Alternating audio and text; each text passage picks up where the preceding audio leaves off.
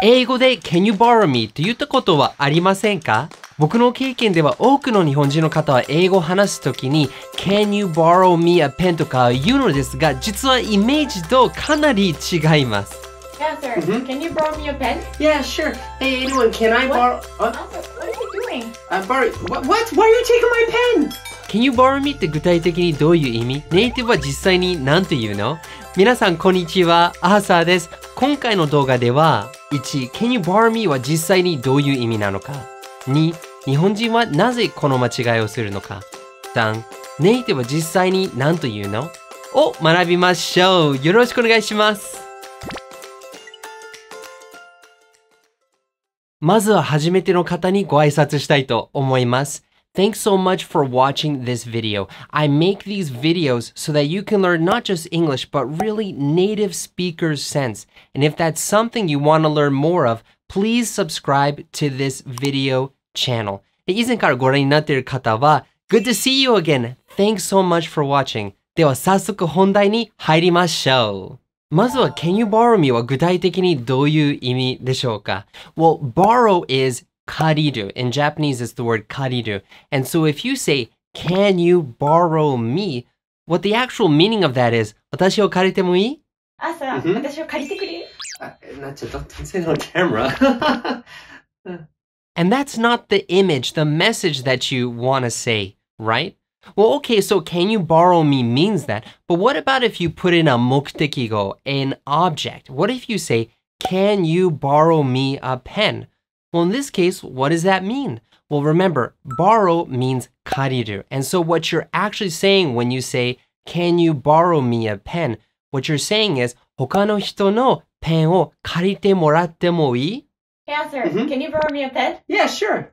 Hey, can I borrow a pen? All right, here you go.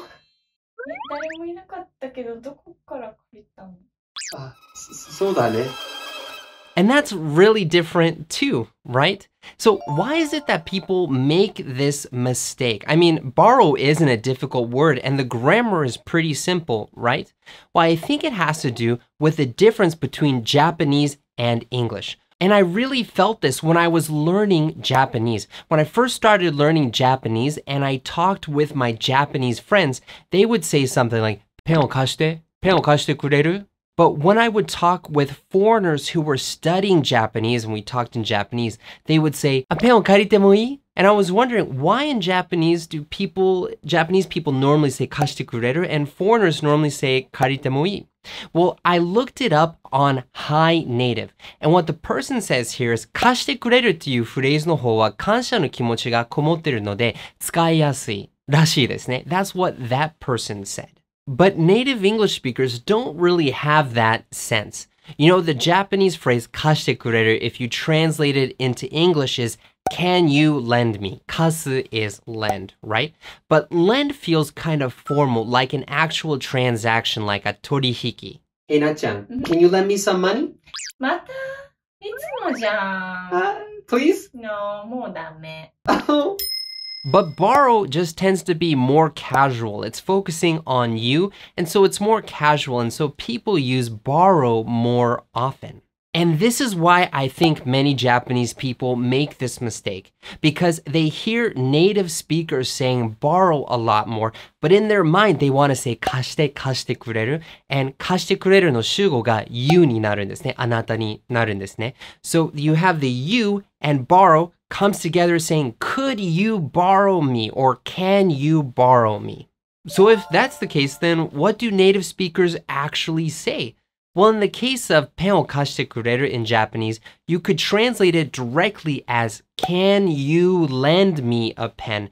But that is a direct translation. Remember, 英語の本来の目的は日本語を英語に変換するのではなく、頭の中のイメージ、気持ち、情報、いわばメッセージを相手に伝えることです。And the 貸してくれる has that 感謝の気持ち in it. It's more casual, it's more thankful, and that matches more to borrow. So I would say the natural translation of ペンを貸してくれる is Can I borrow a pen?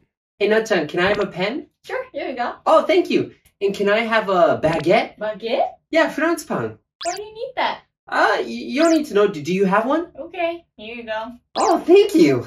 ね、なんで必要だったの Oh, I just wanted to know if you had one. What? yeah, yeah. Oh! Alright, まとめに入りましょう。1. Can you borrow me? Can you borrow me a pen? は私のために借りてもらえる？という意味になります。2. ペンを貸してくれるの直訳は Can you lend me a pen? になりますが 3. lend はちょっと堅苦しくて取引っぽい言い方です。borrow の方はカジュアルなので Can I borrow a pen? の方が自然に聞こえます。Alright, 今回のレッスンではネイティブの感覚に基づいた英会話を学びました。お疲れ様です。でもやっぱりこういうネイティブの感覚を取得したい方が多いんですが、多くの方はいきなり外国人を対面するってなると、頭が真っ白になって言葉が出てこない。という問題に毎回なります。僕も以前に日本語を長年勉強したのに日本に行ったら頭が真っ白になったっていう辛い経験をしたことがありました。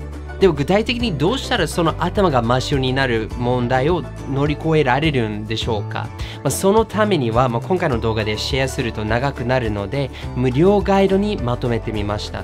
その無料ガイドを学びたい方ゲットしたい方はぜひ You can click up here or you can click the link in the description box below.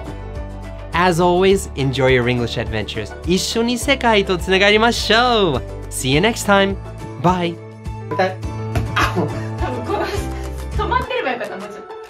Ah, no, no, but that's fine. That's fine. Stop. No, you shouldn't.